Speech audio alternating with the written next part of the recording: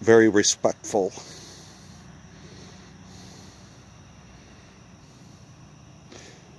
We shall never forget. Unless you're a progressive or a liberal, then you just don't give a shit. but look what they put up. Yes, folks, they put up the Huey Hog. This is new. Oh, yeah, look through it. Oh, up here.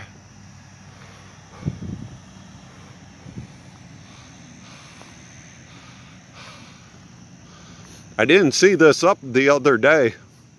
I was like completely oblivious to it. Maybe I just didn't notice it. Maybe they just put it up.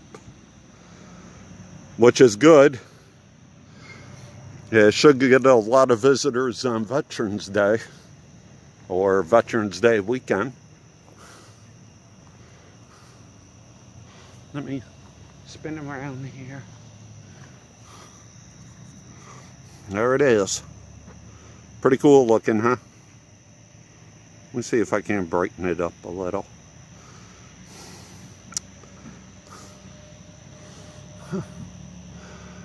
Did they put U.S. Navy on it because it's an actual Navy chopper or is that what somebody decided to put on was a Navy chopper? Uh, definitely a close air support aircraft. Uh, can't really notice it. I know. Crappy video. I'll make a better one hopefully soon. Uh, they got the uh, 20, uh, they got the uh, minigun on there. Could be a 20 millimeter. I say it's a 7.62 uh, minigun. And they got the uh, 7 round. I believe it's a 7 round rocket pod on there.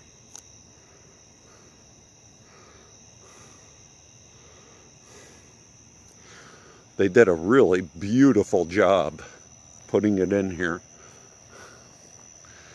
And again, you really can't probably notice it at night, but they have all the flags of the U.S. Armed Forces here. Be nice if it was a little windy so the flags would blow.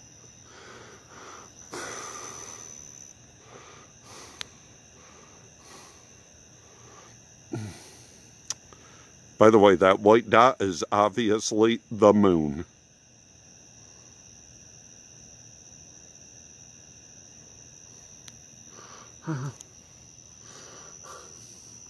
I'm running late, so I'm going to walk over the chain. Shame on me. Uh, you probably can't read this, that's obvious. Uh, it says Agent Orange 2.8 million Americans were exposed to more than 20 million gallons during Vietnam. Over 250,000 have died from Agent Orange related diseases, and tens of thousands more are still battling its effects. Agent Orange dioxin, Vietnam. Those were that was probably, uh, it doesn't say, but I imagine that was the unit in charge of spreading the dioxin all over the jungle. A little closer view. No, no offense to the veterans, but a, a slightly brighter light on this air, on this aircraft, especially uh, up on the side here would really make it shine at night. I mean, wintertime it'll be brighter because of snow on the ground, but uh, put a brighter light on the side. Also for security purposes, because, hey, you never know. but uh, MVCC Aviation Program did an awesome job on this chopper. Awesome. Uh, it says HAL slash dash three. Obviously the squadron.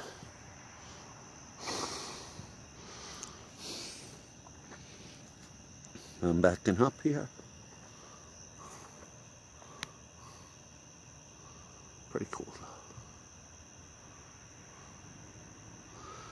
So if you're at Griffiss, uh, or in Rome, New York, or going through Rome, New York, be sure to stop at Griffiss Airport and check out the sculpture trail.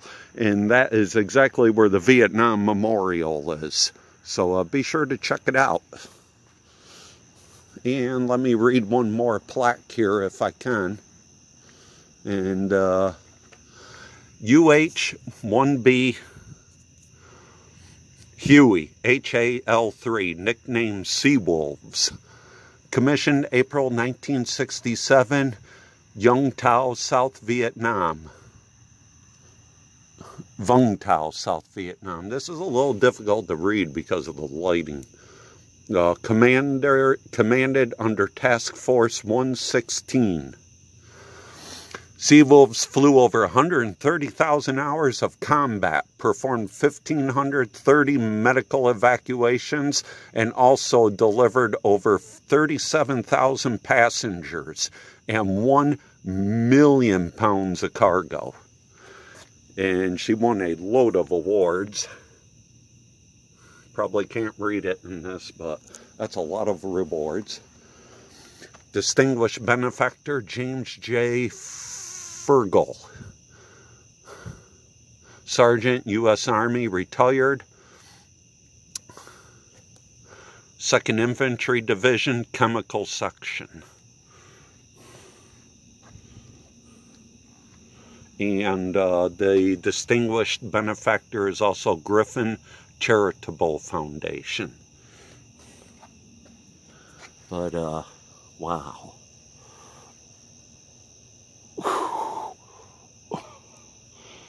Kind of neat because you can be under this and it's like maybe, you know, uh, you're, you're, you, it's flying in over you. It's pretty cool.